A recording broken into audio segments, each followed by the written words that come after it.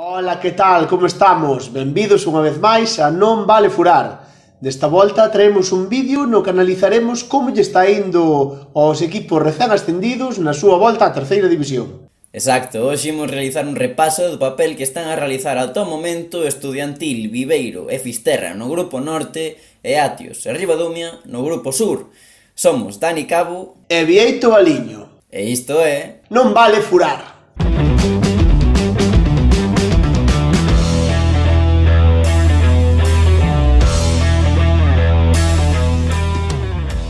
Imos comezar polo Grupo Sur.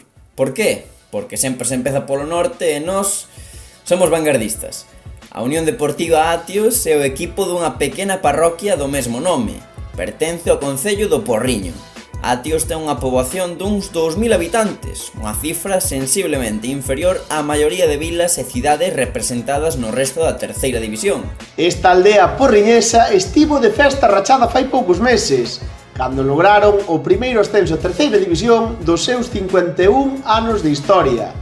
O equipo xa levaba un par de tempadas rozando a xesta, xa que a tempada anterior quedaran terceiros e na 18-19 de cuartos. Efectivamente, todo isto da man de José Tizón, o adestrador vigués soubo darlle ao Atios esa personalidade necesaria para loitar cos mellores, fixos creer e finalmente acabaron derrubando a porta do ascenso. E tanto, cabo. De feito, aínda que o ano pasado ascenderon como segundos ao suspenderse as ligas, levaban xa 26 xornadas en postos de ascenso. Ademais, foron o equipo máis goleador do seu grupo da preferente con 56 goliños e tamén o segundo menos goleado, con só 20 en contra. Non está nada mal para un conxunto que tivo que lidiar con equipos como Ribadumia, Vilalonga ou Céltiga, clubs históricos. E que sabemos do equipo que teñen este ano, Vieito? Pois o certo é que o Acio reforzouse moi ben esta tempada. O conxunto porriñés chegaron xogadores como o centrocampista Adrián Mourinho, o lateral Sergio de Paz ou o central Javi, que reforzaron un equipo que contaba xa con grandes futbolistas como Mintegui, Sombri, Totti ou Ioni. Isto valeulle este tizón para arrancar moi ben a liga, Sete puntos de nove no campo do Carballo, grazas ás vitorias ante Pontellas e Ribadumia, o empate a 3 contra Ourense Clube de Fútbol. Pois fora non o fixeron nada mal tampouco, eh, Cabo? Perderon 2-0 en Bouzas nun partido apretadísimo, pero lograron empatar a ceros en Espiñedo, na casa do poderoso Arenteiro. Deste xeito, acumulan 8 puntos e sitúanse na sétima posición da tábua, Agora, iso sí, terán que visitar ao Choco nun partido aprazado que se suspendeu e esta xornada visitarán a casa do líder, a Lomba. E outro recén ascendido do Grupo Sur é o Ribadumia, un histórico que volve, non si, Vieito? Si, sí, señor Cabo, o Ribadumia é un equipo que ven de botar un aniño na preferente. Baixou na 2018-2019 despois de cinco tempadas consecutivas en terceira, e a directiva do club optou por seguir confiando en Luis Carro, o técnico do descenso. Unha decisión atípica nestes tempos de pouca paciencia, sen dúbida. Exacto, Vieito, e o tempo deulle razón á directiva, pois o Ribadumia ascendeu líder, con 16 encontros gañados, 8 empatados e tan só dúas derrotas fixeron que aventaxaran en 3 puntos ao segundo clasificado Atios e en 7 ao Cultural Areas, que acabou a liga no terceiro posto da táboa. Esta tempada tampouco lles vai nada mal, suman 8 puntiños igual co Atios. Comezaron a liga como tiros, gañando o Ourense Clube de Fútbol no Couto e o Choco na casa. Despois perderon precisamente co Atios antes de empatar con Estradense e UD Ourense. Por último, caerían goleados en casa do Londras, en Cangas. Esta fin de semana reciben ao colista, ao Pontellas. Se gañan dará un gran paso para loitar polos postos altos da clasificación. Que che parece vieito se falamos dos xogadores cos que contan na Senra? Un equipo moi competitivo a pesar de vir de preferente. Efectivamente, Cabo, é iso que non fixeron demasiadas fichaxes, máis ben tentaron conservar o plantel que tiñan que xa non estaba nada mal. Xogadores como Hugo Soto ou Fran Fandiño teñen un grandísimo nivel para a terceira división. Si, sí, poderían entrar en calquera 11 de gala Vieito. De feito, foron os dous que incluímos nos equipos que fixemos do Grupo Sur. Despois, outros xogadores como Cheri ou o porteiro Roberto Pazos tamén andan a un gran nivel. A fichaxe máis salientable dos da Senra é Charles, que chegou do Pontellas e xa acumula 3 goles en 4 partidos. Pasamos agora ao grupo norte da terceira, onde nos atopamos tres novos equipos, dous que chegan tras encabezar e liderar o seu grupo de preferente a ascender de forma directa e outro que acadou a praza tras pasar polos xuzgados. Comezamos polo Viveiro de Chusqui, un equipo cun gran plantel de xogadores que arrasou na Preferente Norte. 58 goles a favor e só 22 en contra serviron para que en 26 xornadas lle sacaran 11 puntos ao segundo clasificado. Un verdadeiro rodillo, un dominio similar ao do Bayern en Alemania, cabo. Números de escándalo, Vieito. A superioridade do Viveiro foi insultante, grazas, sobre todo, a unha plantilla con xogadores dunha calidade inmensa. O obxectivo era o ascenso, e conseguirono. Exacto, ademais a directiva fixo un gran labor en verán, logrando manter a columna vertebral do equipo e traendo tamén un par de xogadores que subiron o nivel en certas posicións do campo. Exacto, Vieito, en portería Manu Cedrón sigue a ser un fixo para os de Cantarrana, En defensa chegaron Edgar do Arzúa e Pablo Rei do Polvorín, pezas importantísimas neste inicio de liga. Na medular destaca a fichaxe de Javi Rey, un centrocampista lucense de moita calidade que procede do Arenteiro. Despois, o resto de equipo sigue unha liña continuista, porque xa se sabe, cabo, cando algo funciona, por que cambiálo? Effective Wonder, señor Baliño, pezas de vital importancia o curso pasado como Alex Meitín, Xaime, Vicente, Iván, Arturo ou Gerardo siguen a contar cun papel destacado en terceira. O Viveiro é un proxecto que está a funcionar moi ben, ou non? Si, sí, o arranque foi tremendo, cabo. Debut con victoria na casa por 2-0 ante o Estudiantil e a seguinte semana, primeira saída e segunda victoria. Partidazo en Fisterra que acabou 2-3 cun golazo de Xaime. Inicio contra os outros dous ascendidos. Curioso, o Viveiro volvía a terceira por todo o alto. Na terceira xornada visitaron a Cheda nun derbi lucense ante o Polvorín, cun resultado final de 4 a 1. Cristian, cun póker de goles, acabou carracha. Un duro golpe de realidade.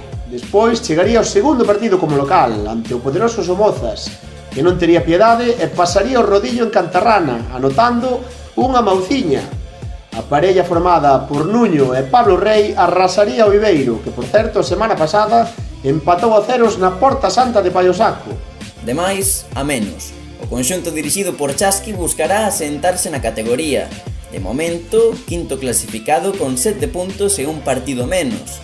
De gañar o encontro aplazado ante o Silva, situaríase no terceiro posto da táboa. Moito ollo. Nin tan mal, eu confío neste proxecto. É un equipo que as ideas moi claras e que sabe o que xoga. E agora imos ao fin do mundo, Cabo, desplazámonos ata Fisterra. Outro conxunto que chega directamente dende a preferente é o Fisterra, equipo que logrou dous ascensos consecutivos dende a primeira autonómica da man do seu adestrador, ex-adestrador Ángel López Canosa.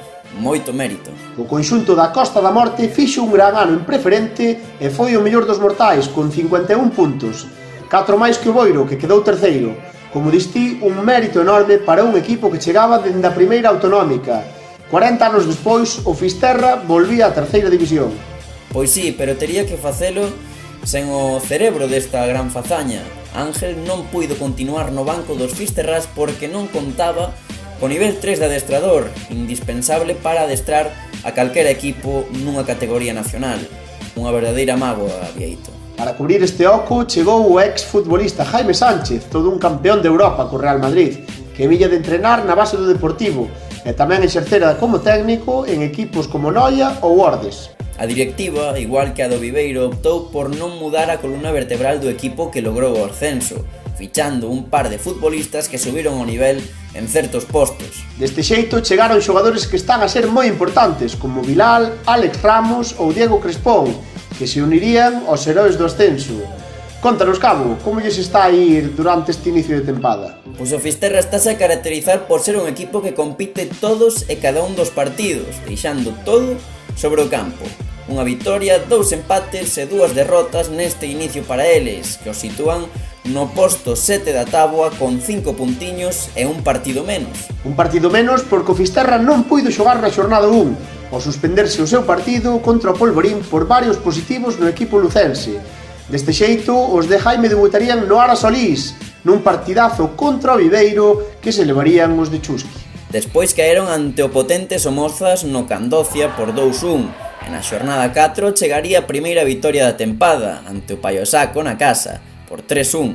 Nas últimas xornadas, os verdes lograron dous empates ante Silva e Arzúa nada mal. Son uns guerreiros, cabo, gústame moito este Fisterra, eh? con xogadores como Arón Fernández, Julián, o mediocentro Arón López ou o extremo Herbert, moi vos. Sen esquecernos da víbora da Costa da Morte, Adrián Macai, capitán do equipo que xa leva dous goles esta tempada. Un fenómeno. O último recén ascendido é o Estudiantil, un equipo originario de Loimil, unha pequena aldea situada no Concello da Estrada, Este ano o equipo mudou a súa sede a Santiago e xoga os seus partidos en Santa Isabel. Os teus veciños, Vieito, un equipo que coñeces moi ben. Pois bastante ben, Cabo. Tive a sorte de pertencer ao seu corpo técnico durante varias xornadas na tempada 2018-2019. Un ano no que fixeron un equipo de circunstancias e acabarían quedando últimos. A tempada pasada xogaron en terceira autonómica ca idea de aforrar diñeiro para poder construir un bo equipo este ano en terceira división. Correcto, porque o estudiantil levaba dende a tempada 2016-2017 esperando pola aceptación dun recurso legal que lle dera o ascenso a terceira nos despachos. Resulta que quedaron terceiros aquel ano, a un pasiño do ascenso. Nun partido de Liga contra Arzúa, que o estudiantil non fora quen de gañar, o equipo da Terra dos Queixos cometería unha aliñación indebida, Estes tres puntos valeríanlle ao estudiantil para lograr o ascenso a final de tempada. A resolución fixos esperar e aínda chegou a mediados da tempada pasada. Polo tanto, a directiva tivo que formar un equipo de cero. Lóxicamente, ningún dos futbolistas que formou parte do equipo o curso pasado na última categoría do noso fútbol está este ano na plantilla. O que sí, a dirección deportiva foi quen de firmar a grandes nomes, nomes con moito prestixio na categoría, non si, Vieito? Nomes como os de José Moreira, Toño Vázquez, Manu Rodríguez, Óscar Santiago ou Alberto Trapero falan por sí sós. Para o gol truxeron a Ramonciño o matador Tresoldi, que por mor das lesións tampouco está tendo un bo comezo. Como é normal nun equipo feito de cero, estalles costando conxuntar as pezas. Para logralo, acaban de fichar fai unha semana a Gelucho, que chega a Santa Isabel para suplir a Gonzalo Lestallo. A toda agora acumulan dous puntos grazas aos empates en Paio Saco e contra o Silva na casa. Perderon en Santa Isabel ante Somozas e Vilalbés e contra o Viveiro tamén caeron en Cantarrana. Polo momento están algo verdes, pero este equipo si se pon a funcionar pode dar máis un disgusto, cabo. Seguro que irán mellorando co paso das xornadas. Que che parece, Vieito, se agora facemos unha clasificación tendo en conta o nivel mostrado por estes equipos no inicio de Liga? Pareceme genial, Cabo. Creo que o que mellor arrincou foi o Viveiro, que chegou incluso a estar de líder un par de xornadas no grupo A. Despois metemos ao Atios, un equipo debutante na categoría que está a colleitar bons resultados, mostrándose sobre todo moi forte na casa. O terceiro nesta clasificación de recén ascendidos será o Ribadumia, que esta xornada si gana contra o Pontellas pódese poñer nunha situación privilexiada dentro do seu grupo. Despois situamos o Fisterra, que aínda que tivo mala sorte nun par de partidos, está a mostrarse como un equipo moi complicado no Arasolis. E polo momento, de último, por moito que me pese, temos que poñer o estudiantil, que pecha o seu grupo de terceira con só dous puntos. Aínda así están a mostrar unha melloría importante e de seguro que irán para arriba. Seguro que sí, aínda queda moita liga e pode pasar calquera cousa, porque isto é fútbol, señores e señoras. E no fútbol pode pasar de todo, unha caixa de bombós, como nos gusta dicir. Isto foi todo por hoxe, este foi o noso vídeo, esperemos que vos gustase, moitísimas gracias por velo e por estar aí. Estamos moi contentos co apoio que nos dades, en serio. E como sempre, non esquezades darnos like, suscribirvos á canle, activar a campaíña e utilizar os comentarios. Vémonos no próximo. Onde seguiremos falando do fútbol que máis nos gusta.